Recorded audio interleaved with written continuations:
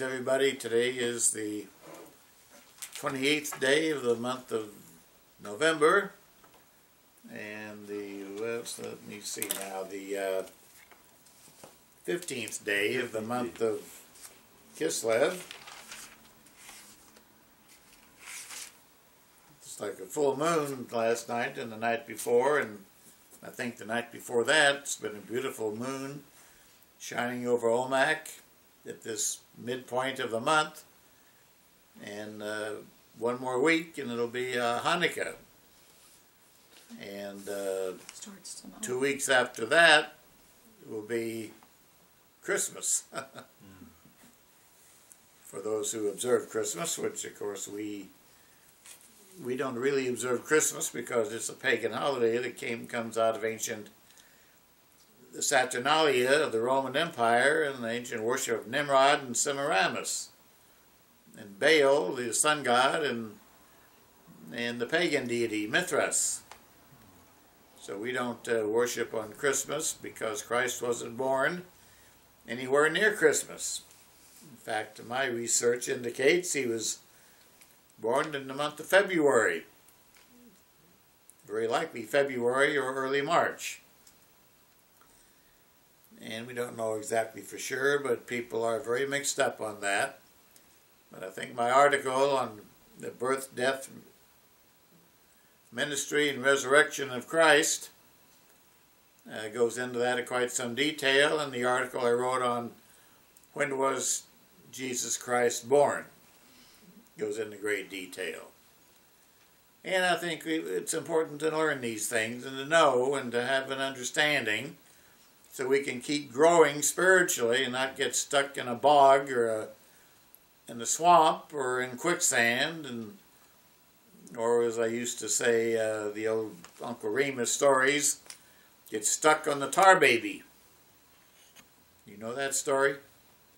About the tar baby Brer Rabbit and the tar baby? You know Brer Rabbit was singing jauntily and to himself as he was hopping down the road and came across this tar baby, this uh, tar object uh, leaning against a, a, stump or a log on the road, next to the road. And he said, hello, tar baby, because Brer Rabbit was feeling his Cheerios, his oats. He was feeling good, and he said, hello, sir. And the tar baby didn't say a thing because it's just made out of tar. And didn't say a thing. And Brer Rabbit said, What? I said, Hello to you, sir. Didn't you hear me? Hello. Tar baby didn't say a thing. And Brer Rabbit got mad. He got angry and he kicked him with his foot. And when he did that, that was a mistake because his foot got stuck in the tar. And he said, let me go, let me go. And he tried to free his foot. He couldn't get loose. And he kicked him with his other foot. And both feet were stuck in the tar. Then he punched him with his fist, and his fist was stuck in the tar. And punched him with the other fist, and he was totally stuck in the tar. Then along come Brer Fox, I think it was, mm -hmm. and said, Oh, Brer Rabbit, I got you this time. You're stuck. I'm going to take you home and put you in the pot. And you're going to be stew, rabbit stew tonight. And Brer Rabbit was knew he's a goner, he's a loser. He he was really had it. I mean, he'd been taken, snookered, deceived by Brer Fox's trick. And so Brer Fox had held him over his shoulder and was taking him home to put him in the stew pot, and Brer Rabbit looked across the field and saw a great big thorn patch of brambles and briars and thorny bushes. And he said, Oh, Brer Rabbit, you can take me home, you can cook me in a stew pot, you can do anything you want, but please, Brer Rabbit, don't throw me in that thorn patch. Please don't throw me in that briar patch. I hate briar patch. It's horrible, terrible torture. Don't throw me in that briar patch. And Brer Fox hates Brer Rabbit, and he's, ah, I'll really make it nasty for you. All right, Brer Rabbit, so he threw him in the briar patch. And when Brer Rabbit landed in the briar patch, now he was free. Now he didn't have to face being a rabbit stew anymore. And he started cackling and laughing, gleefully jumping up and down and saying, Oh, Brer Fox, you didn't know it, but I was born in a briar, briar patch. It was his home. Born. Born in the briar patch. And so he was, he escaped by the skin of his teeth from certain death. And he was now in the briar patch. Well, you know, we all can learn a few lessons, I think, from Brer Fox and Uncle Remus and the stories of our youth and realize that we need to endure to the end. And don't be taken in by deceivers and deception. And don't lose our tempers. Don't get angry and do something stupid or foolish. A lot of lessons we can learn from this story of youth and even Uncle Remus and Brer Fox, Brer Bear, and Brer Rabbit. But today we have some other lessons to learn, not from fairy tales and rhymes, but from the Word of God. And before I get into that, I have a few prayer requests I want to pass along. I got an email this week from Jim Fleetwood, who was with us for the Feast of Tabernacles this uh, year. He came all the way over from South Africa and spent the week with us, and we enjoyed his company very much. Well, he's gone back to South Africa now and says, Greetings, Mr. Dankenbring. My little 11 month old grandson, Axel, is extremely sick with E. coli, and they are flying him from Zambia back to Johannesburg, South Africa tonight for advanced hospital treatment. Treatment up in Zambia over the past week has not worked. Please request all the church members to pray for his quick recovery. Thank you, Jim Fleetwood. So, brethren, I want to call upon you all to remember his Jim's little 11 month old grandson, Axel, who's very sick with E. coli. Remember him in your prayers. Lift him up to God in your earnest prayers for his healing and recovery. Then another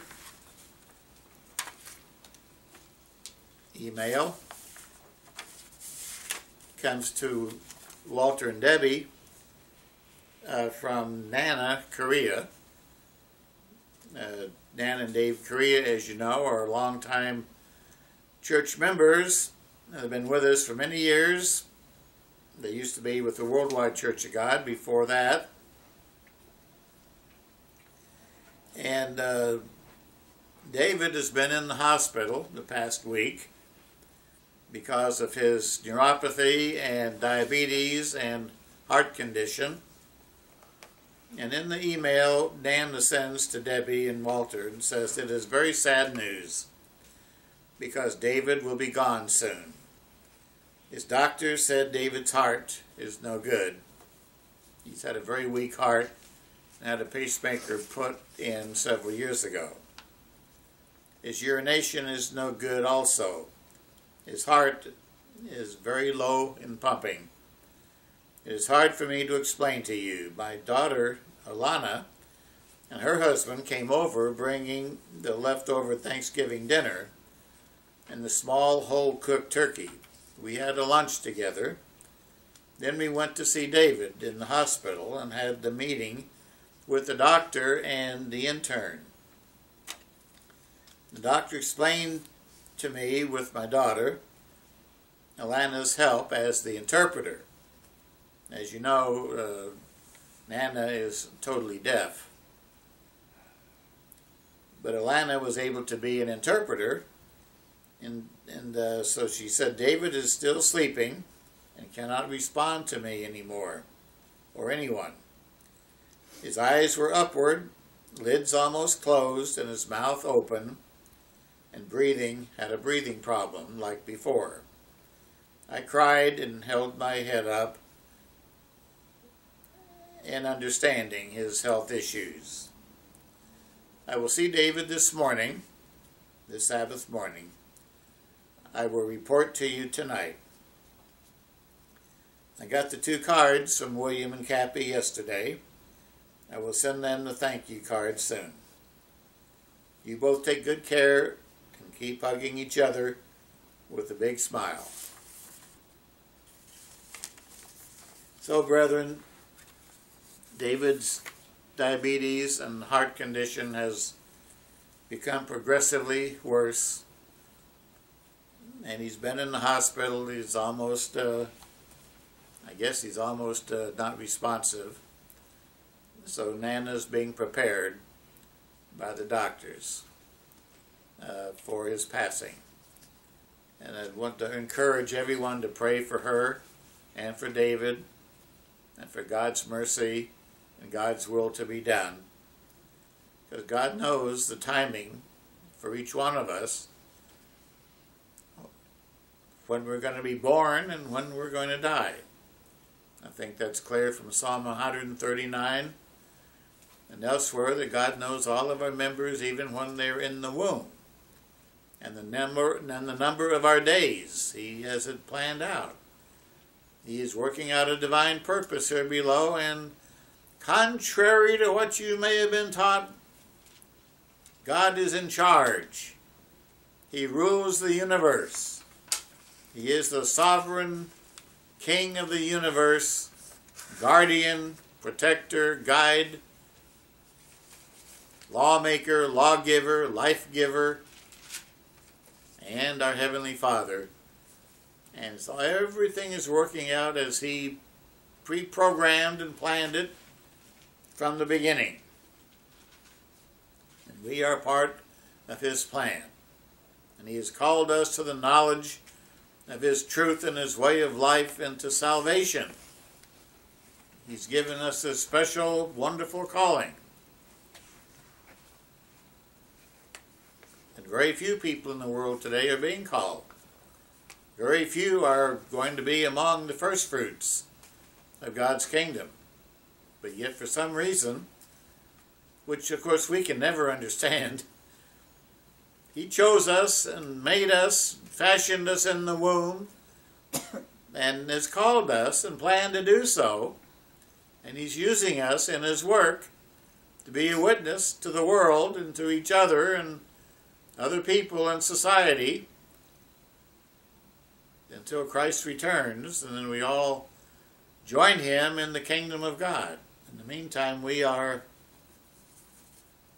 yeah, the top part. His people his church, his chosen ones, chosen to do a job, chosen to fulfill a commission, chosen to preach the good news of the gospel of the kingdom of God to the world and to encourage the world to repent and return to God and to get to know the true God, the creator of heaven and earth.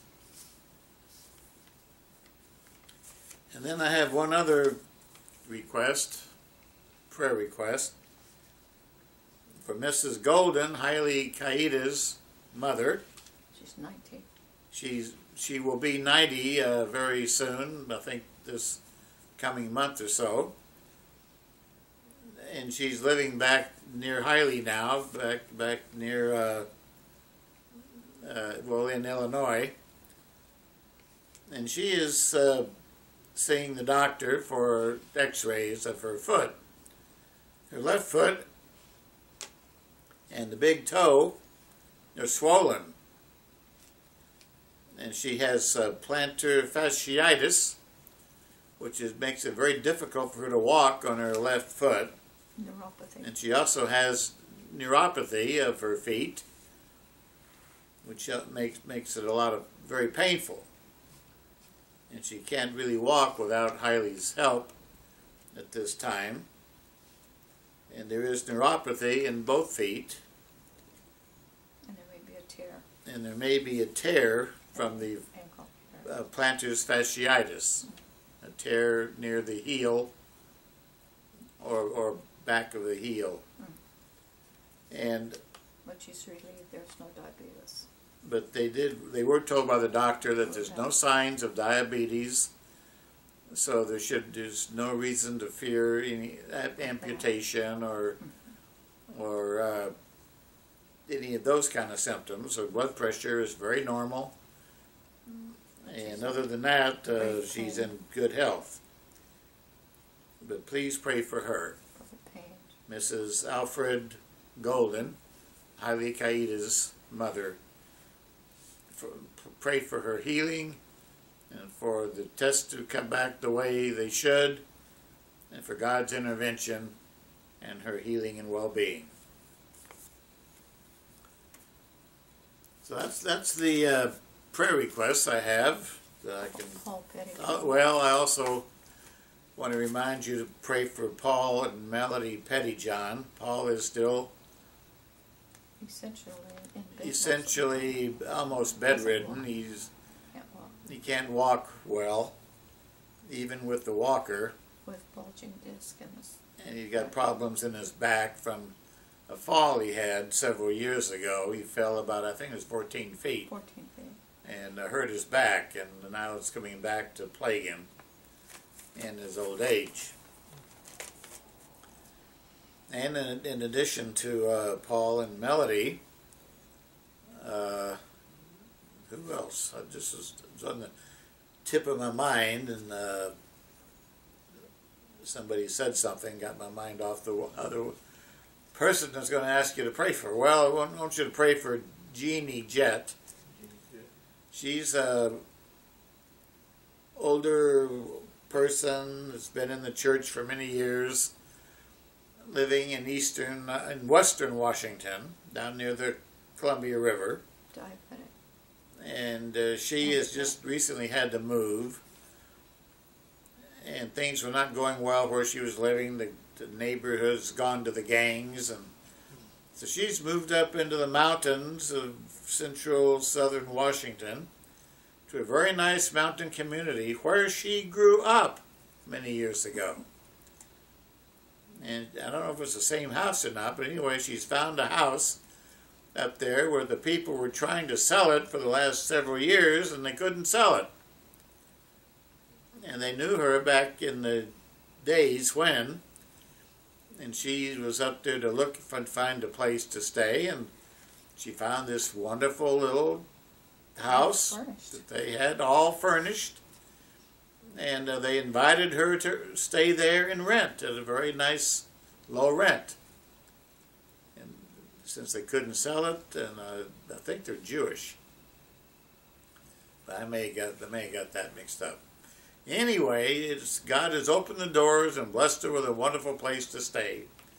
And now she's looking to get another little dachshund, I think, a little dog, because her previous dachshund pet died back in October of, the, of last of this year, and so she's looking to find one to replace her because she wants to have some companion, and a little dachshund would be just the ticket for her. So please pray that God will intervene and see that she gets the dog she needs to help her live out her days in comfort and well-being. She's very handicapped.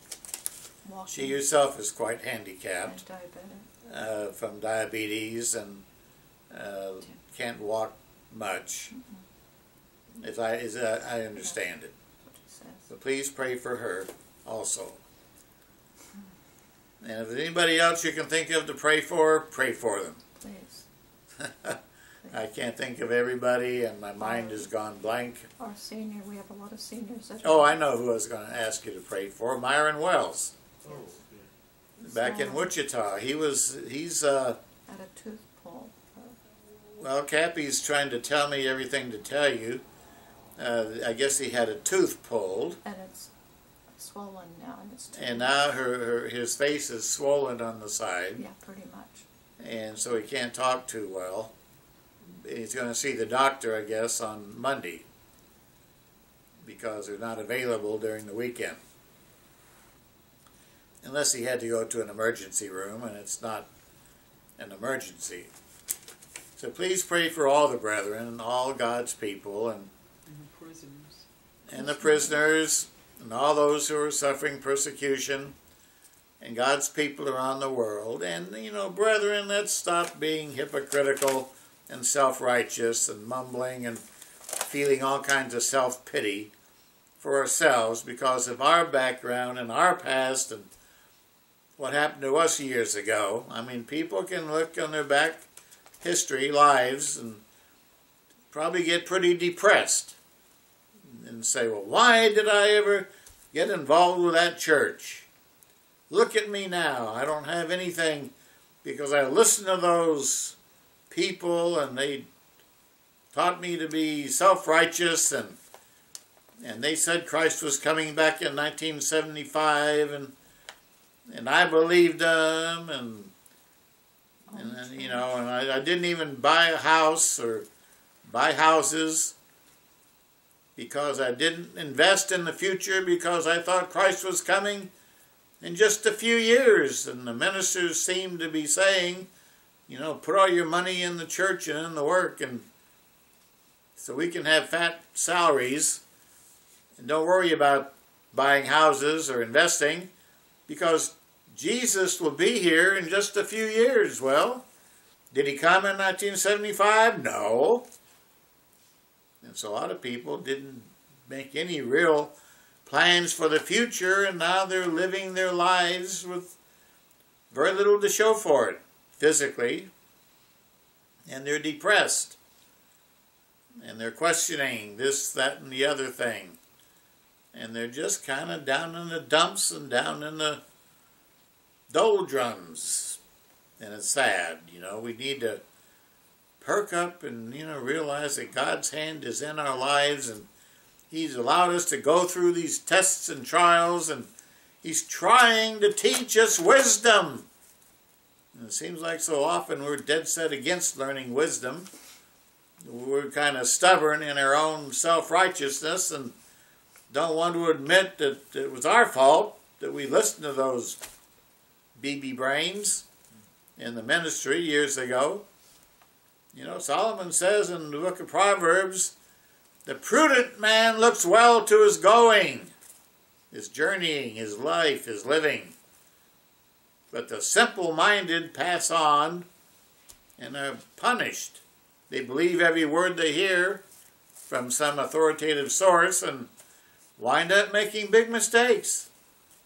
Oh, the thing to do today isn't to cry in our beer and and uh, weep tears of remorse over yesterday's problems, but just to forget the past and concentrate on the future. Keep your eyes focused on the kingdom of God, as Christ himself said, Seek ye first the kingdom of God and his righteousness, and all the things you need, other things will be provided for you. Matthew chapter 6 and verse 31 through 33, some, something like that. You know, uh, somebody else, my wife was talking to someone yesterday, uh, re recently anyway, and uh, they've gone through a lot of trials too. You know, and different different families have gone through different trials and tests. Some have lost children. Some have lost brothers or sisters. Uh, some are just just kind of woebegone because they their life is kind of falling apart, and maybe they and their wives aren't even in the same church anymore. At least they're together with their wife. That's a blessing, I would think.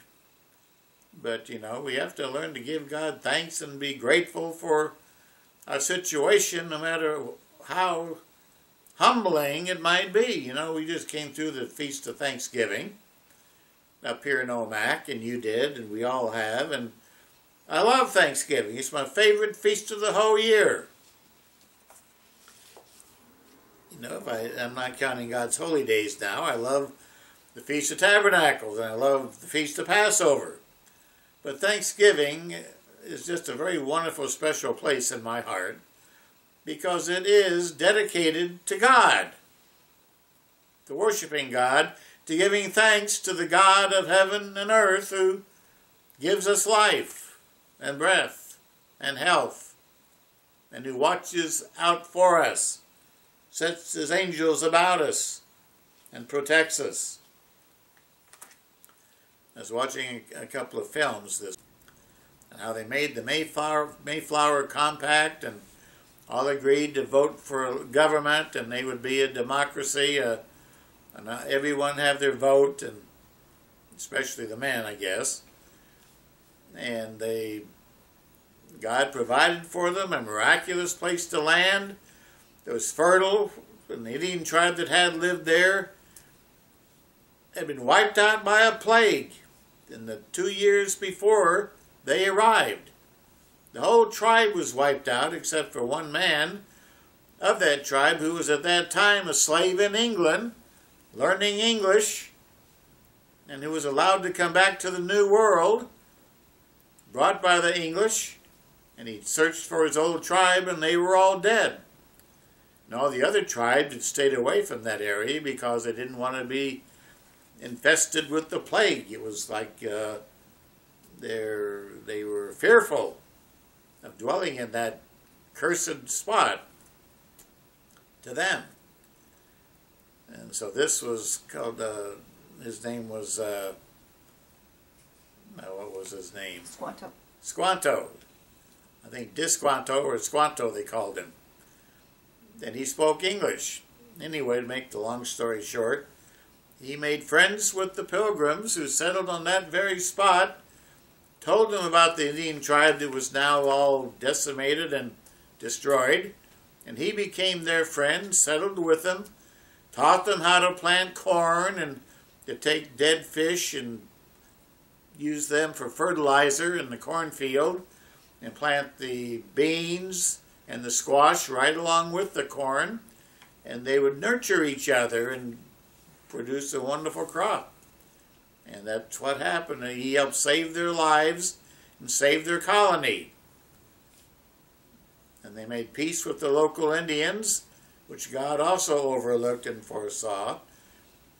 And this is largely taken from the pages of William Bradford's history of the colony and his journal. Well, you know, now think about it. The Pilgrims were Christians. They were not part of the state church of the Church of England. They were not Catholic. They were striving to get back to the faith once delivered to the saints. They were searching the scriptures to learn how to live. And they were called Puritans or separatists because they didn't go along with the established church of England or the Catholics. They were separated. They didn't even keep Christmas. Like all the others kept Christmas. They, they said Christmas is pagan. And possibly Easter too. They didn't keep the pagan holidays. But they did observe Sunday as the Sabbath. They'd inherited that, and even though it was wrong, they observed it uh, faithfully, as best they understood. They assumed that the most Christians do today, the Sabbath was done away with the law of Moses. You know, you read the book of Galatians and the New Testament, you can get that feeling. Unless you're educated and someone shows you the right way, you could easily conclude that the law was nailed to the cross, the law was done away, now we're not under the law anymore, and, and that the, the you know, that, that no man judge you about matters of the law, Sabbath or holy days. And if you misread those things, you can say, well, yeah, see, we don't have to keep the laws of God because those are ritualistic type laws and they're all abolished.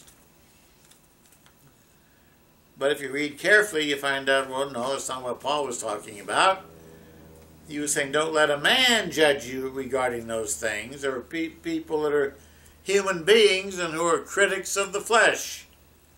Your neighbors or other churches, don't let them judge you. But God is the judge. Christ is the judge. He will be our judge. Romans 14 says that plainly. And Paul says there, don't judge one another. Don't be critical of one another. In other words, I would say, brethren, don't be critical of somebody just because they keep Sunday. And don't think you're more righteous than they are because you keep the Sabbath.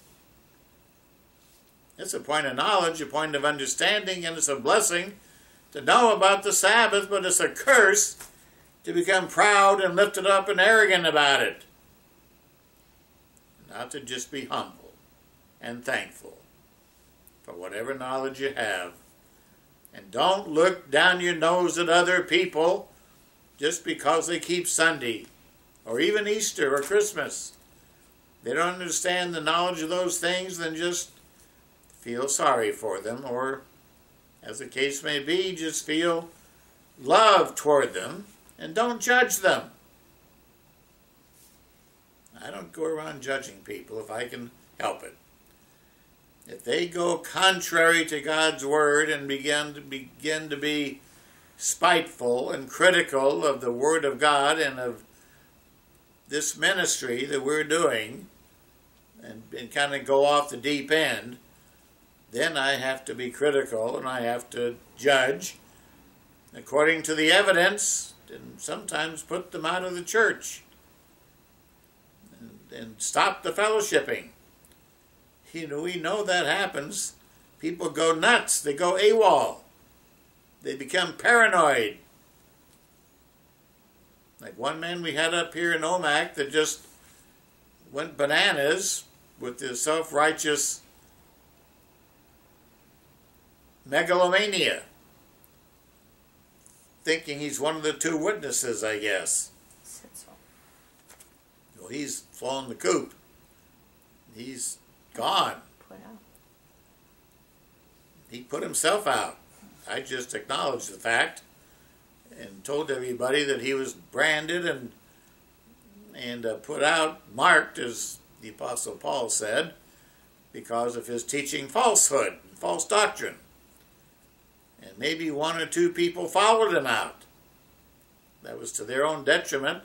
They should have exercised wisdom and caution and asked God to deliver them from the influences of Satan the devil.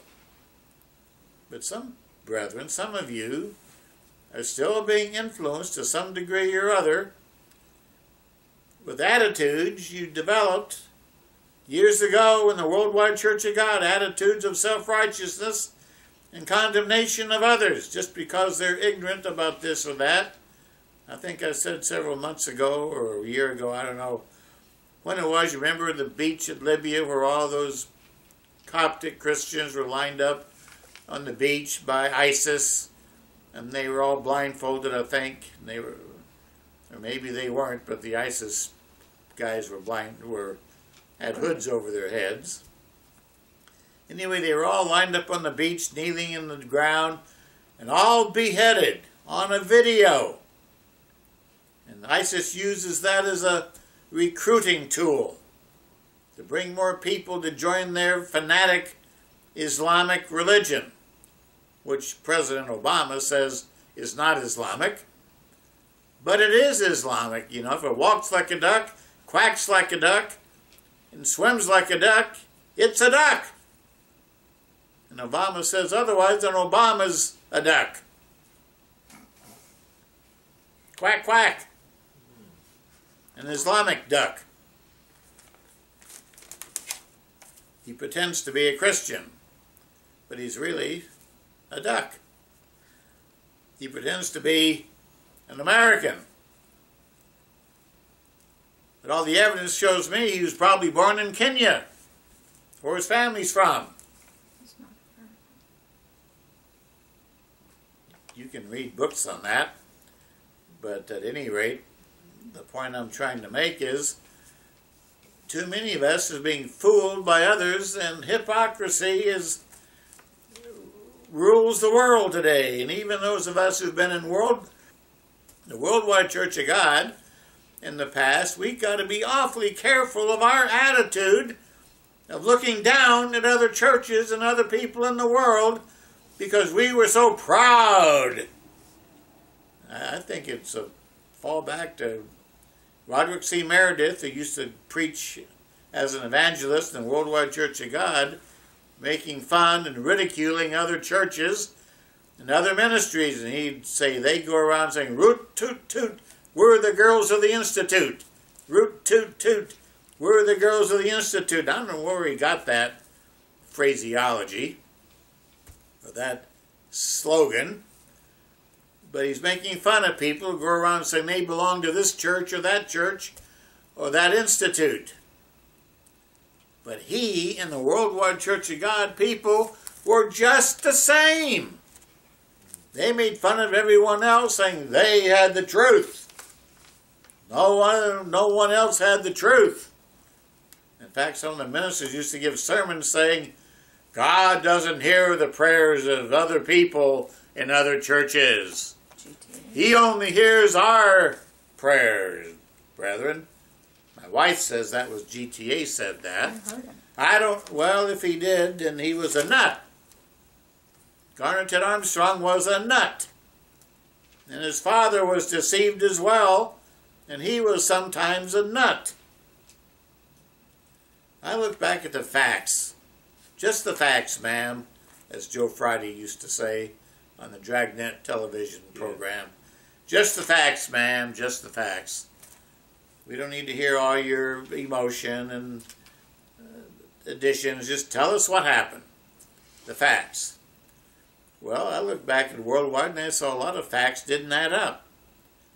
Herbert Armstrong was totally wrong on divorce and remarriage, and he ruined marriages and families and split up children from their parents because of his asinine, stupid interpretation of the marriage issue. He, how did he get into that predicament? He didn't know Greek. And he assumed he did know Greek. So he misinterpreted the Greek word porneia, and he said it just means premarital sex. He got that out of his own head, or Satan the devil put it in his head, because the Bible doesn't teach that. Any Greek dictionary or biblical dictionary or Gesenius Greek, I mean uh, Thayer's Greek English lexicon will give you the definition of that word, porneia. It means immorality, adultery, fornication, all of those things. Not just premarital sex. So he got it messed up. Ruined people's lives. And I could go on and on. I don't want to do that. I just want to point out, brethren, we need to stop being so self righteous about judging everybody and being critical of everybody and realize that none of us has all the truth. There's no prophet out there today that has all the truth. Jonathan Cahn has been used of God to reveal a lot about the Shemitah year and the downfall of America. In Isaiah chapter 9, I think it is, uh, about the harbingers and the fall of ancient Israel, comparing it to the modern day dealings that God is doing with America today, the tribe of, we say it's the tribe of Ephraim. I say that primarily. Jonathan Cahn doesn't know that, but he still sees the parallel between the fall of ancient Israel and the 9 11 attacks on the Twin Trade Towers of New York.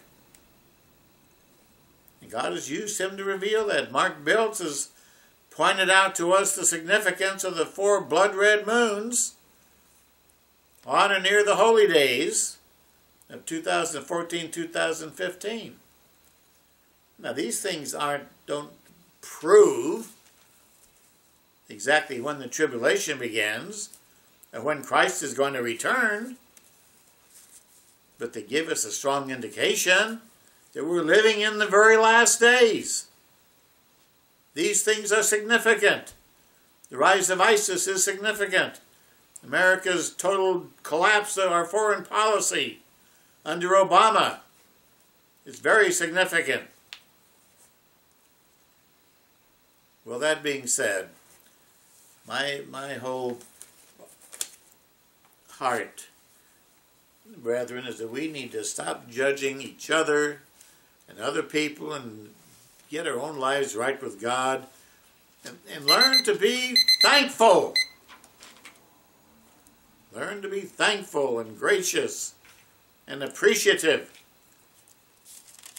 As the Apostle Paul said, Brethren, give thanks always in all things. In Ephesians chapter 5,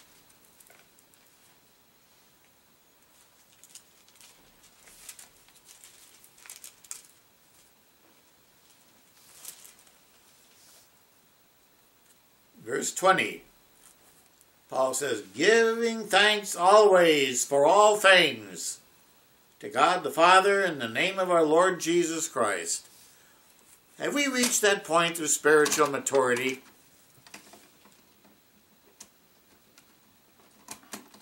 Can't we get that right? Yes. Verse 19.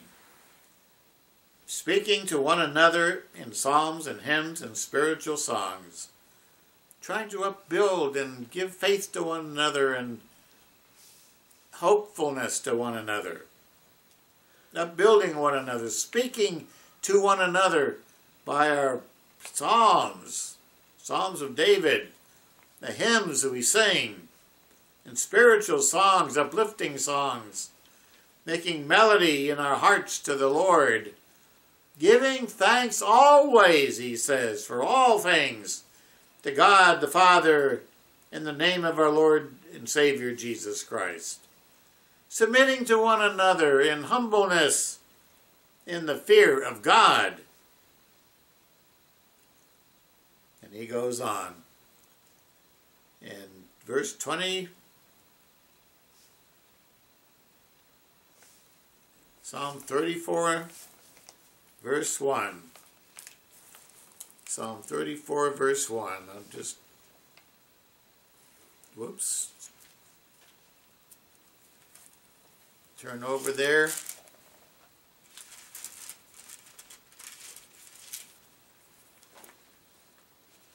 Where David says, I will bless the Lord, Ye- Jehovah, at all times. His praise, praises shall continually that means always, every moment of every day, continually. Be in my mouth. My soul shall make its boast in Jehovah. The humble shall hear of this fact, he said, and they will be glad. Then he says in verse 3, Oh, magnify Jehovah with me, join me, and let us exalt his name together. That's the attitude God wants. He wants us to have the attitude of David. This is a psalm of David. Of blessing him always with our mouth, at all times, praising him all day long, magnifying him in our hearts and in our words exalting his name, Jehovah, together as one.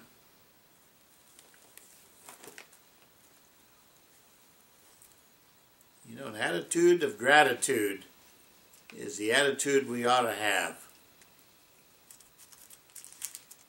An attitude of sheer gratitude from morning till evening, from, from dawn till dusk.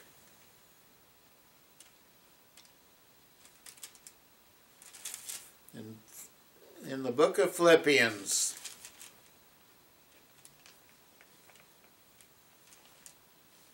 The Apostle Paul says the same thing. He says in verse chapter 4, verse 4, Rejoice in the Lord always.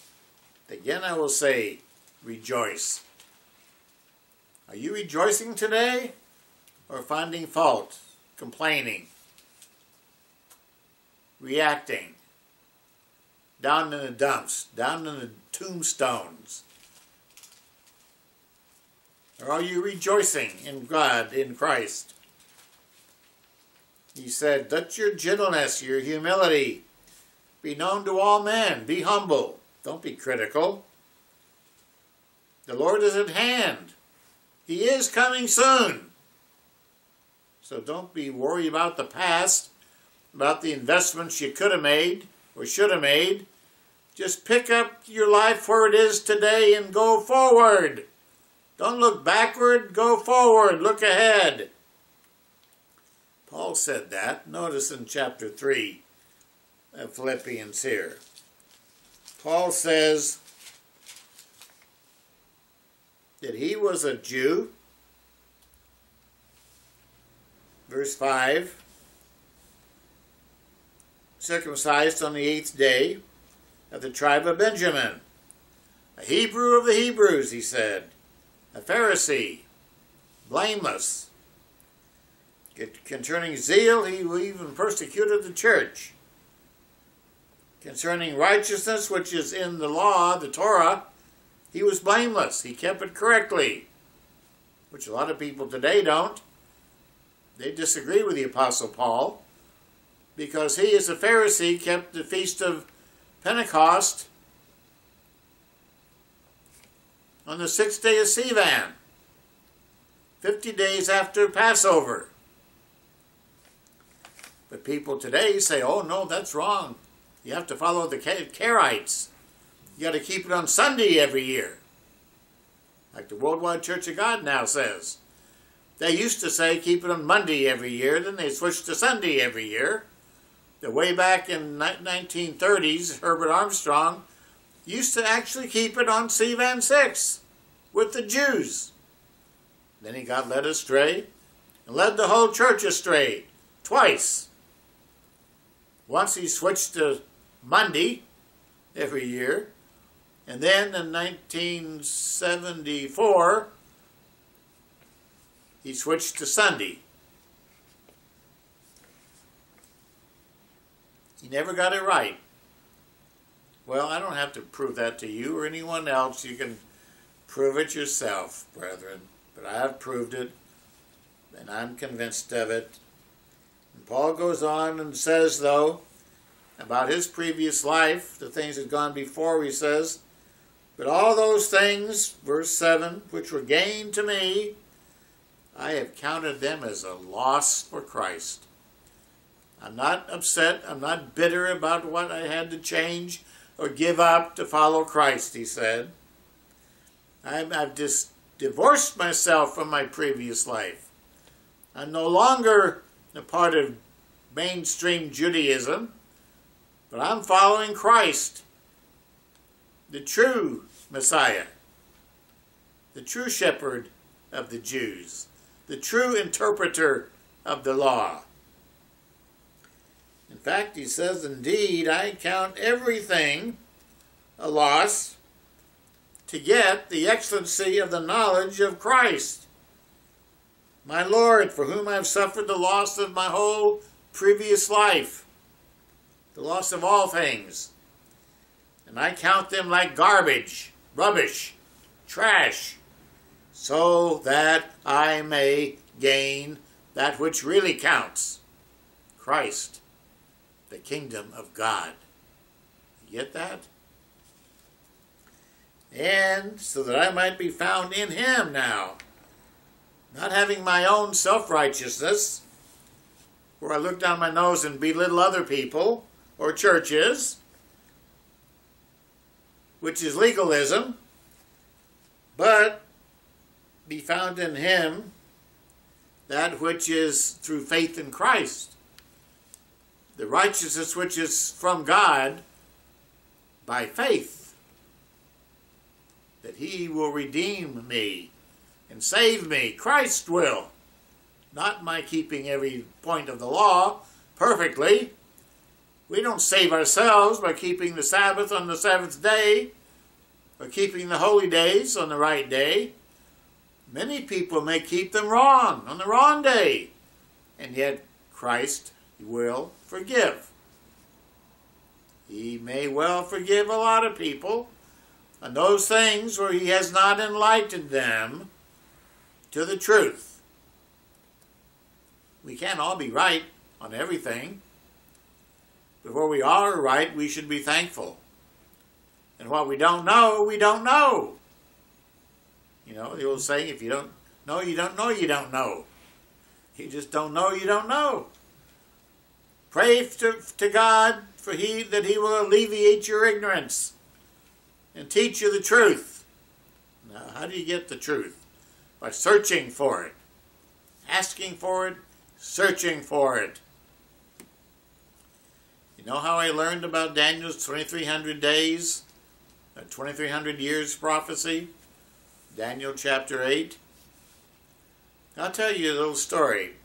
Years ago, my daughter was in high school, and she had, I think it's high school, it might have been even middle school, and she had to do a paper on Alexander the Great. And she wanted a little help to write her paper.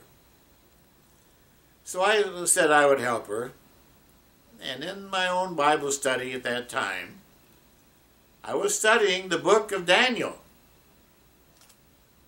The book of Daniel and chapter 8, which is about the he goat, the Grecian goat, running against the ram of the Persian Empire and decimating it, destroying it. And I read in Adam Clarke's commentary, well, first of all, I was reading the Bible on my knees and prayed as I was reading that chapter. And I asked God to give me understanding of what that's talking about. Real understanding. What's the 2300 days? What was that about? I prayed for that, and then I was doing the paper for helping my daughter on Alexander the Great. Well, the he goat in that passage was actually talking about Alexander the Great, the head of the Grecian kingdom. And he led his army of about 30,000 troops storming across the Granicus River into Asia Minor and defeated the huge army of the kings of Persia and all their generals. And I thought, well, when, when did that occur? When was that? And I read in the World Book Encyclopedia about that war, and then I read in Clarke's commentary on Daniel 8 in the footnotes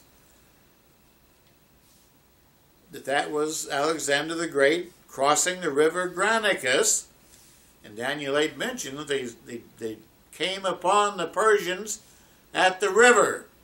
And they smote them at the river. So I, I knew then, well, that's the river Granicus. So when was that? Adam Clarke said it was 334 BC, the year 334. And then later on in that chapter, it says the angel says to Daniel, or another angel, and Daniel overheard, saying, How long shall be the vision?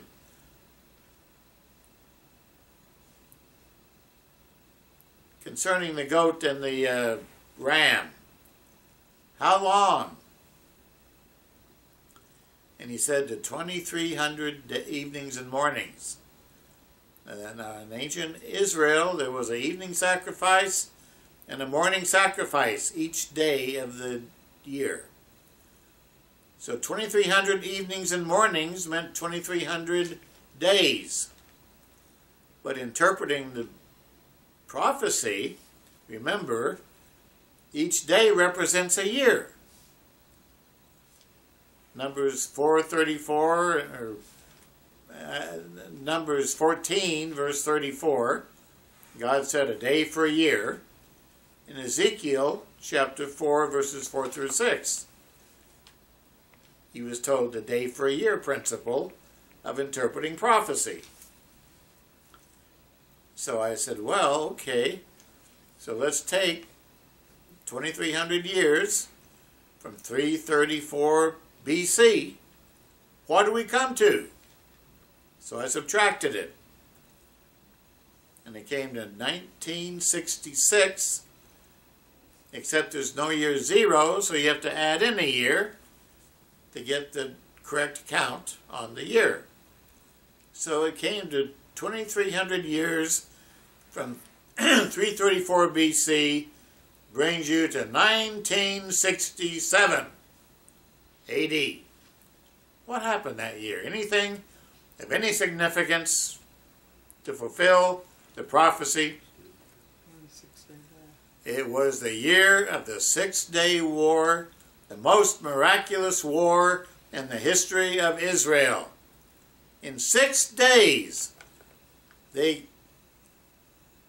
pulverized, slaughtered the Egyptian army, the Egyptian Air Force, the Syrian Air Force, the Syrian tanks in the Golan Heights,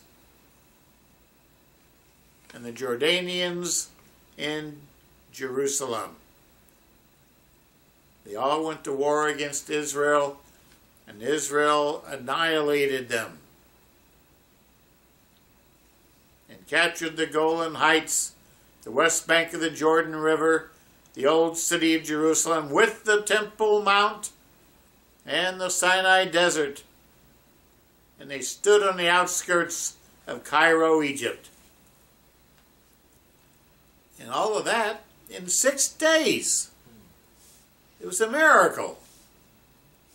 And it was exactly 2,300 years, a day for a year, after Alexander the Great had a miraculous victory in his war against the Persian Empire. A miraculous victory, and then 2,300 years later, another miraculous victory. And they recaptured the Temple Mount, where the Holy Temple had stood all those centuries prior. 2,000 years before, that's where the Temple of God stood. Well, see, Paul in Philippians chapter 3 tells us, Brethren, don't be negative. Don't look back on the past with crying in your beer. Don't don't be pessimistic. You know, you look at your cup and you see it's got wine in it. A half a cup of wine. Now the negative person will look at that and say, my cup of wine is half empty. But a positive minded person will look at that cup of wine and say, well, my cup of wine is half full. It's all the outlook. It's like the story I've told before about the two prisoners in a jail looking out through the bars. One prisoner looked out through the bars of his jail cell and saw the mud of the ground. The other prisoner looked out through the bars up to the heavens and saw the stars. One was mopey dope, pessimism on a rope. The other one was cheerful, looking up to the heavens, climbing Jacob's ladder. We don't get anywhere bemoaning the past. We should forget the past, like the Apostle Paul says right here in Philippians 3. He says, by any means, if I may attain the resurrection from the dead in the future, I don't consider that I've already done it, or that I'm already perfect, that I'm a perfect man now. He says, No, but I press on verse 12, that I may lay hold on that for which Christ Jesus has called me, chosen me, and laid hold on me to reveal his precious truth to me. So he says in verse 13, Brethren, I do not count myself as having gained the truth or apprehended everything. I don't know it all. He said, but one thing I do know. Forgetting all those things which are behind me, I'm reaching forward to those things which are in front of me, which are ahead. I press toward the goal for the prize of the re reward of the high calling of God in Christ. I press ahead. I surge forward. I exercise my muscles to plow ahead. So let's do the same thing. Let's not become negative and get overwhelmed by past mistakes, but just forget them. Treat them like garbage, like rubbish. Take a shower and look toward the future.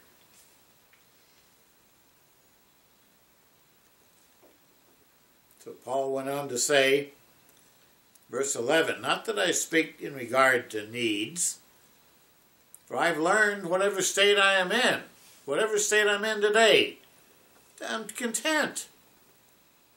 We don't need to bemoan the fact that we don't own a house or several houses, that we made mistakes in the past. We can just forget it. Learn to be content. Accept your situation that God has placed you in and just be a light. Let your light shine with goodness and positiveness and warmth. Giving and serving. Be a light to your wife, a light to your children. Humble. Accepting. Not critical. Don't be critical. So Paul says in verse 10, I rejoiced in the Lord greatly that now at last your care for me has flourished again. Though you surely did care, but you lacked opportunity. How much do you care for God's work? How much do you care for the ministry? How much are you praying for me and Cappy and Walter and Debbie and the other members of the church that are doing the work and supporting the church and the work.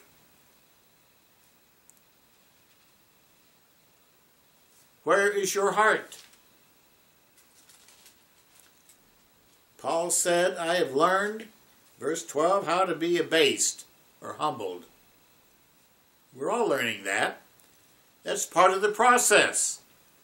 We have to learn to walk in humility and not pride. And he said, I also know how to abound, to, to be blessed, how to suffer blessings. I've learned both, he says, to be full and to be hungry, both to abound with blessings and to suffer needs to suffer needs.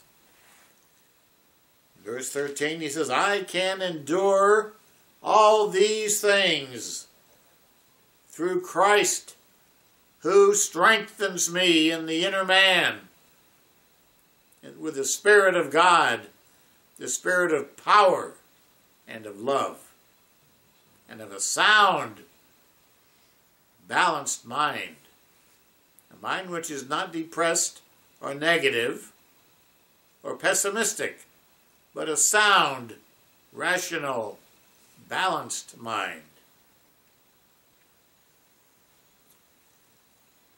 And Paul says in verse 19, My God will supply all your needs, whatever they are, your need.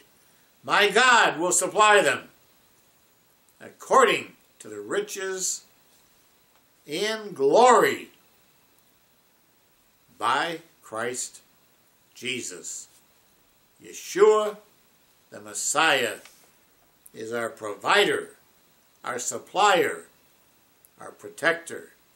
He sends the Spirit of God to enable us, to strengthen us.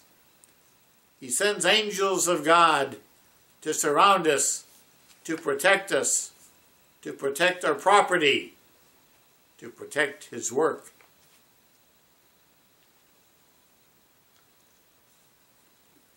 So we need, I think, brethren, this day of Thanksgiving, in prayer, I learned from watching this movie about William Bradford. After read, seeing this movie and having read what I have in the past, I am convinced personally that he was a true Christian, a mighty man of God. He, God used him to found and establish the Plymouth Rock colony of the Plymouth Brethren, living by the Bible the best they understood, searching the scriptures for a form of government, worshiping Christ, and not following the dictates of paganism. They didn't have all the truth, but they had plenty. They had what God gave them in His love and mercy. And he quoted from the scriptures often in his writings and his epistles. And when they celebrated the first Thanksgiving, what we call Thanksgiving, they called the harvest day of thanks and celebrated it with their Indian neighbors who had befriended them. And they played games and had archery contests and musket contests and races and wrestling contests and they shared the bounty of God's blessing. And God blessed them and established the colony. And it began to prosper and grow. Then they learned about the beaver hides up in Maine and all the beaver there. And they sent trappers forth to trap the beaver because right at that time, 1623, a year or so after the first Thanksgiving, beaver pelts became enormously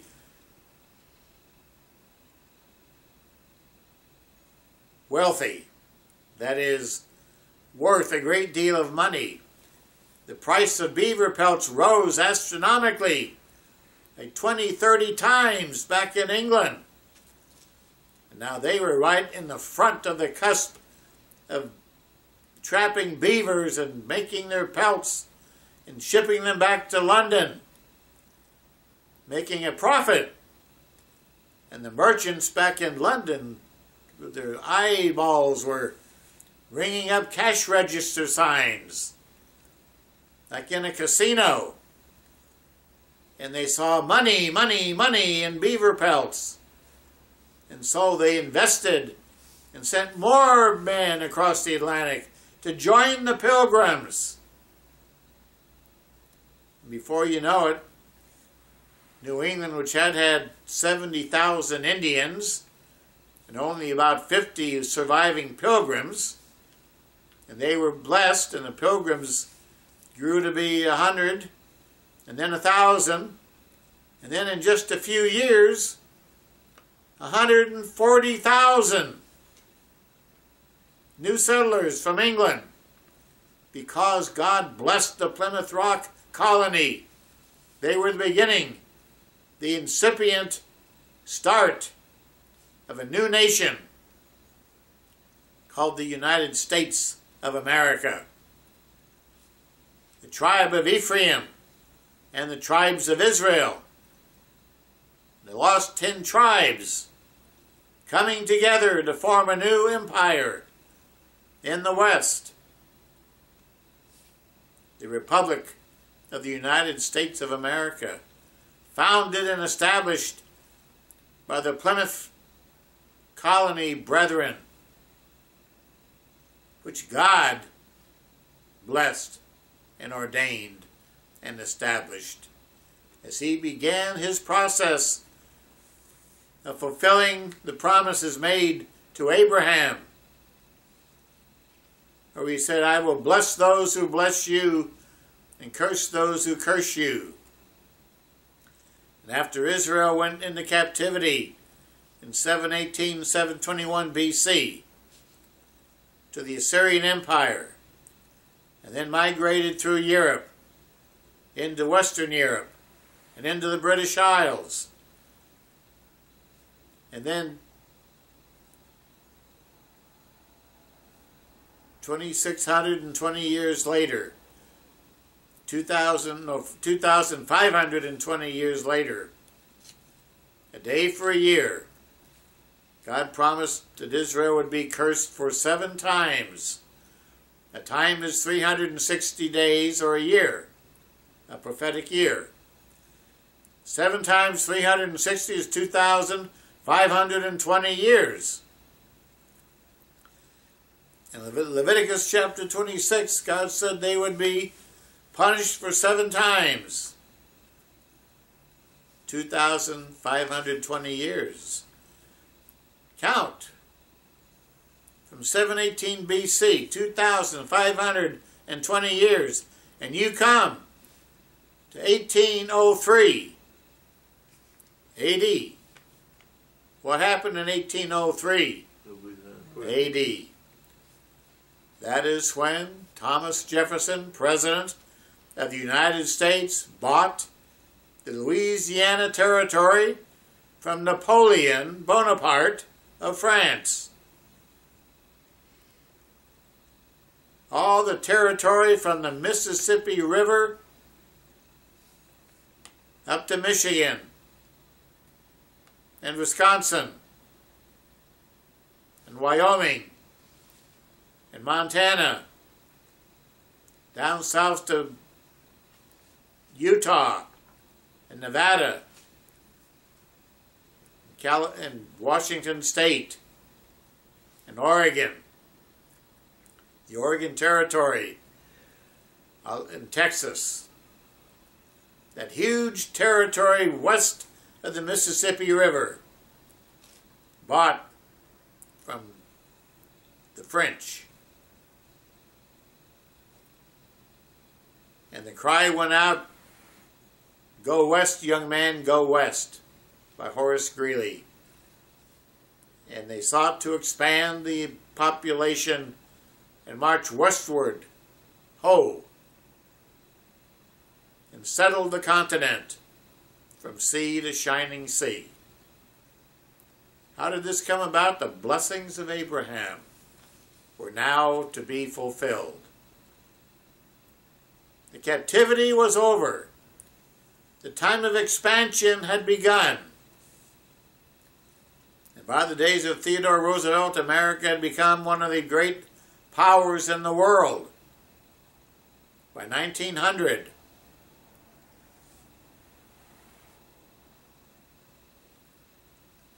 So in Colossians chapter 3,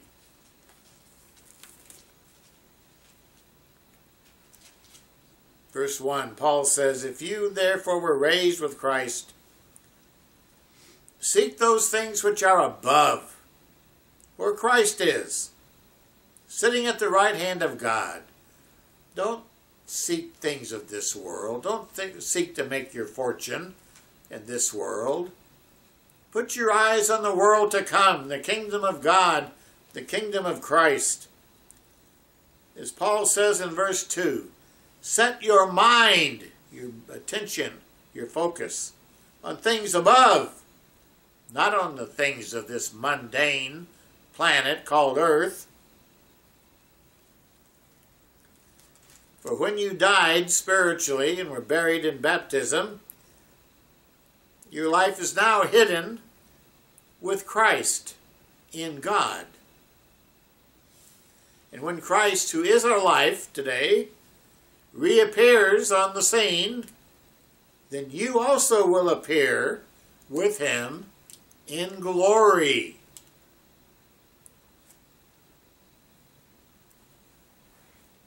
So he says, Brethren, therefore put to death your human members of lust and the flesh, which are on the earth lust, fornication, uncleanness, passion, evil desire, covetousness, greed for money, which is idolatry, he says.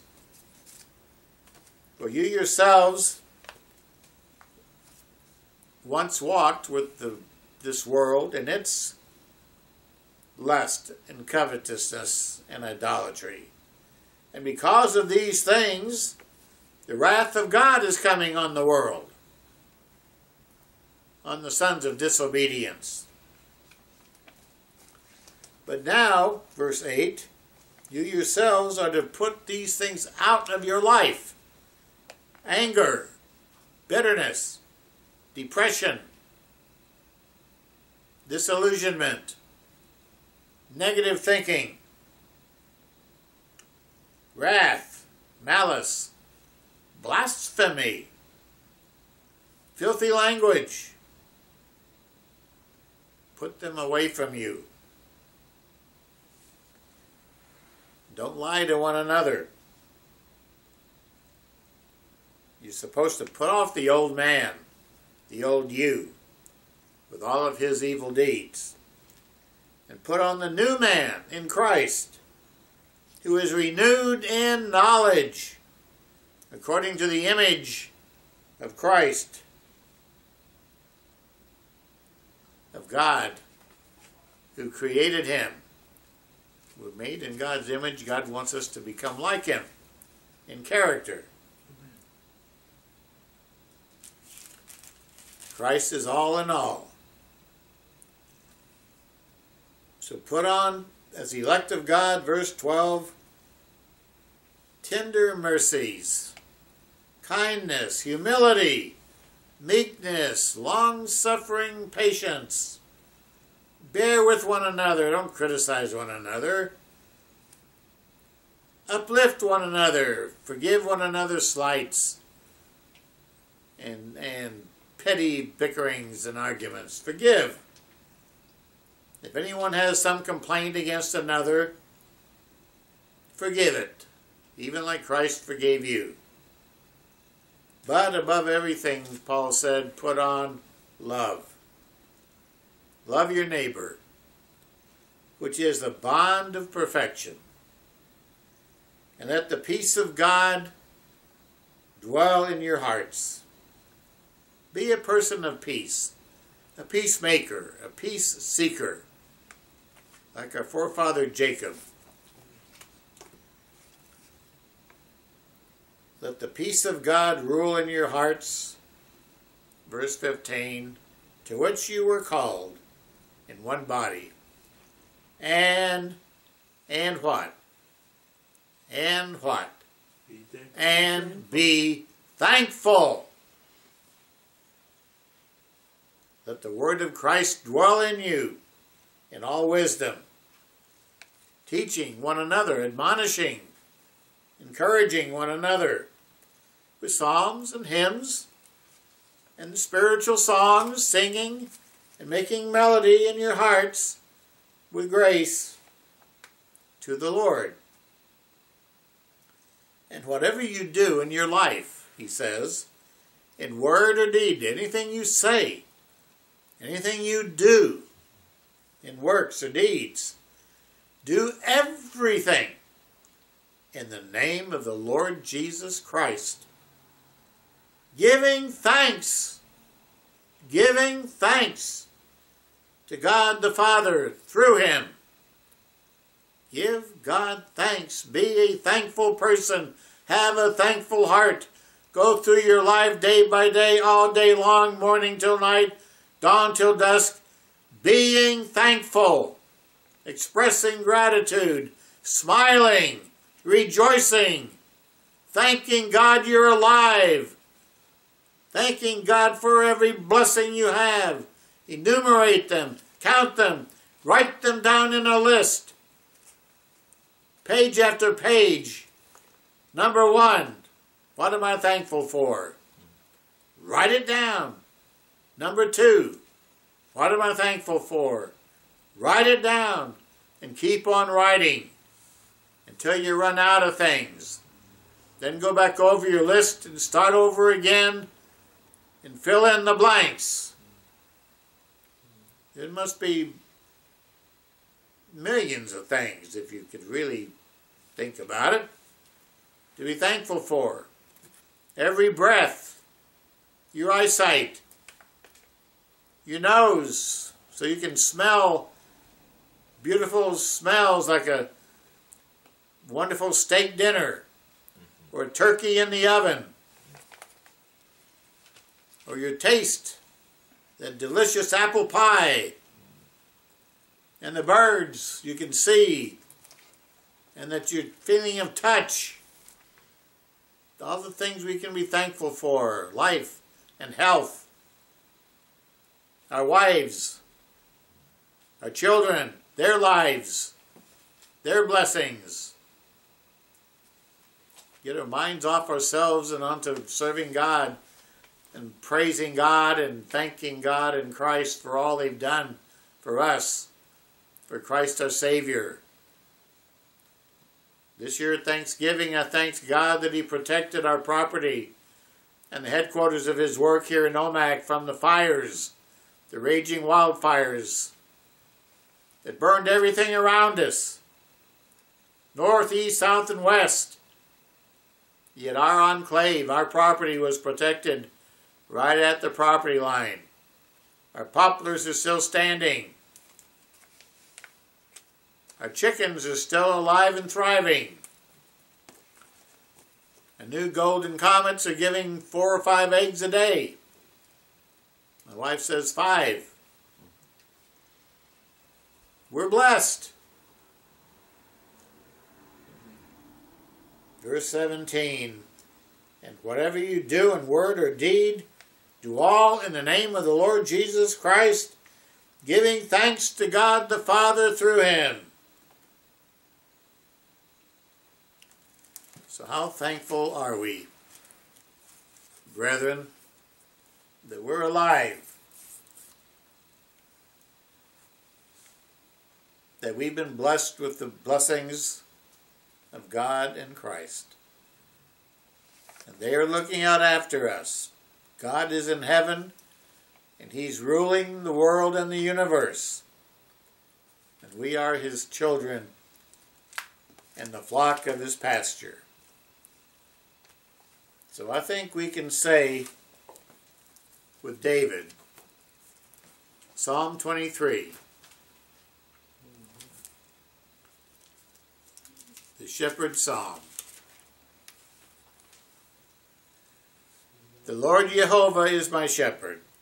I shall not go wanting. He makes me lie down in green pastures, where the soil is fertile. He leads me beside the calm, quiet, still waters, where all is peaceful and tranquil. He restores my soul, my life. He blesses me. He leads me in the paths of righteousness, of obedience to His wonderful law, His Torah, for His name's sake. Yea, even though I walk through trials and tests and temptation, and flood and famine and sword, in the valley of the shadow of death, I will not fear any evil, because God is with me. Your rod, your staff, comfort me and protect me. You prepare a table before me of food. In the presence of my enemies, you provide for me bountifully. My cup runs over with blessings my cup runneth over. Surely goodness and mercy will follow me all the days of my life, and I will dwell and live in the house of the Lord for length of days, forever, for eternity. Give thanks to the Lord be thankful to Him for everything. With faith and with eyes focused forward and fixed on the kingdom of God and Christ at the Father's right hand. Hallelujah. Praise God. Praise God. Thank Him for all of His people that He's working with and through. Thank Him for William Bradford and the Puritans and the Pilgrims. Thank Him for Billy Graham, the Coptic Christians who died for Christ, and the Christians in Iraq and Syria. Thank Him for our brethren that keep Sunday because they don't know about the Sabbath. And thank Him for the ones who do keep the Sabbath, who are blessed with that knowledge. Thank God for His great, awesome, generous love, of which we are so undeserving. Thank God for life, liberty, and the pursuit of happiness. Thank Him for the Holy Spirit that dwells in us and gives us strength and earnest of our inheritance. Thank Him for Christ the Messiah, who died for us and who lives again, seated at the right hand of God the Father. Thank God He is God, and we are the sheep of His pasture. Praise His holy name. Rukata Adonai Yehovah Eloheinu Melech Haolam. Amen. Amen.